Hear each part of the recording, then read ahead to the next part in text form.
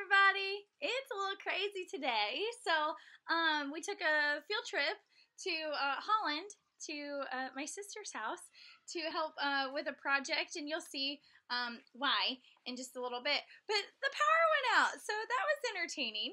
Um, so we did art by candlelight, so you can always try that, or with your flashlight, just like our um, cave prehistoric artwork. We had just the light coming in the windows. That was it. So I'm out on the porch doing my video here.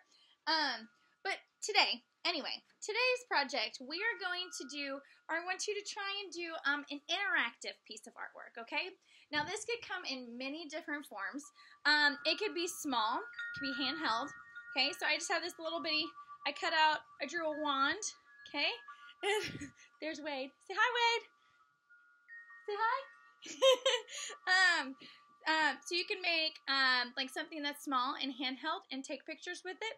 And I'll show you my picture here in just a sec. Um, so you could do little things like this.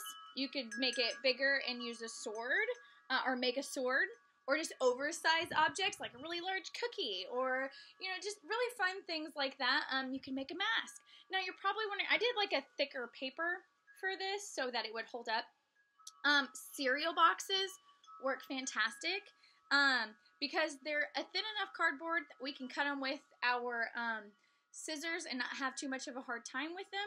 Um, but uh, even just smaller boxes that are that thin cardboard would be great. Or like I said, a thicker paper is good.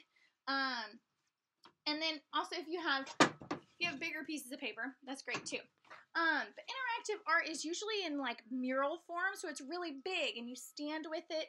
Um, and there are lots of things like that um, just around the state. Um, Nashville, Tennessee had, or yes, yes. Nashville, Tennessee has a lot of really cool interactive piece of artworks, um, whether it's just colorful backgrounds. And I actually had a privilege of going down there um, to see some of their artwork, and it's just really neat.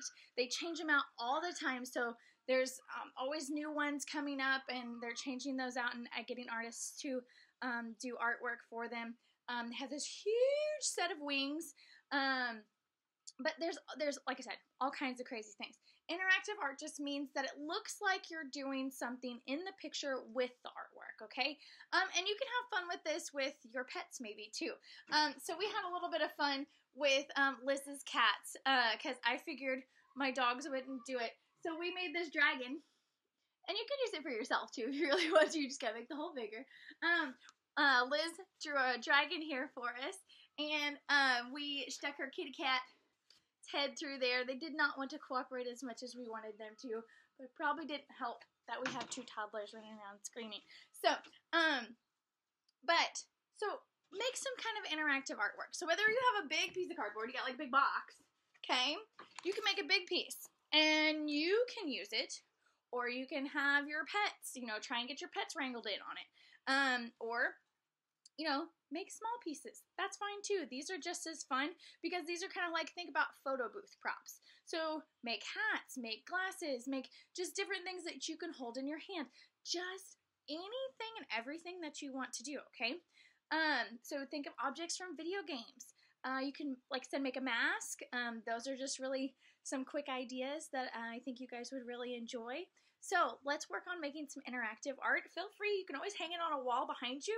Um, if you have that much space and that much material, that would be cool to make a big one in your own house. Um, but yeah, so you guys have a great day, okay? And I will um, see you around. And remember to wash those hands. Bye, guys.